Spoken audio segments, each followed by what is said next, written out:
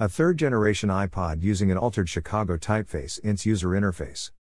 Chicago is a sans serif typeface designed by Susan Kare for Apple Computer.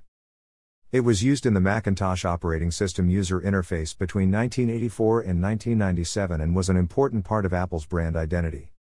It is also used in early versions of the iPod user interface. Chicago was initially a bitmap font. As the Apple OS's capabilities improved, Apple commissioned the Type Foundry Bigelow and Holmes to create a vector based TrueType version. The typeface is named after the U.S. city of Chicago, following the theme of original Macintosh fonts being named after major world cities.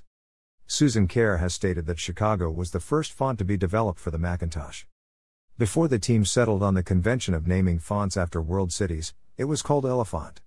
The first bitmap version included only a 12 pints version.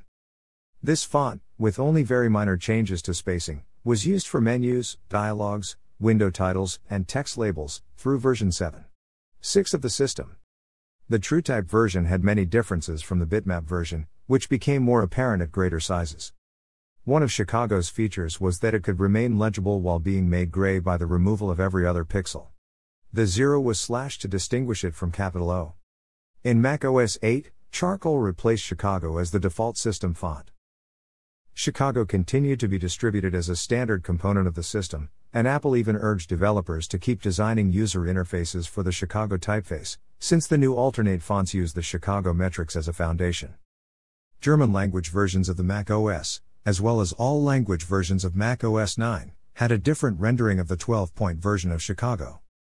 The letter W had two dips instead of one at the bottom of the letter, the letter V had its lower tip at the center instead of veering left, and the letter I had serifs at the top and bottom, distinguishing it from L.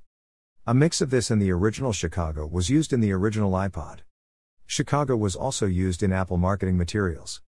It was common to find this font in early amateur desktop publishing productions, since it was available as part of the system. While Apple gravitated away from Chicago following the adoption of the relatively easier to read charcoal as part of the Platinum theme in Mac OS, it was later revived in the user interface for the iPod music player. Where legibility on a low resolution two color screen once again became an asset. With the introduction of the iPod mini, a smaller typeface was needed, and the Espy Sans font from the Apple Newton was used. Finally, with the introduction of the iPod Photo, the color iPod interface changed to Podium Sans, a bitmap font similar to the Myriad Pro typeface which Apple has adopted gradually for its marketing since 2002. The Chicago Pixel typeface was also adapted by Squaresoft for use in the English releases of their Super NES titles, such as Final Fantasy VI and Chrono Trigger. Though the original font is no longer bundled with Mac OS, Two Thai language fonts bundled with Mac OS, Krungthep and Silom, use Chicago for their Latin letters and hence can be used as modern replacements. Chicago is a registered trademark, belonging to Apple since August 1996. Ingo Zimmermann designed the Chic typeface, based on the Chicago typeface, supports Greek, Cyrillic, Turkish, and Pan European languages. Thanks for watching.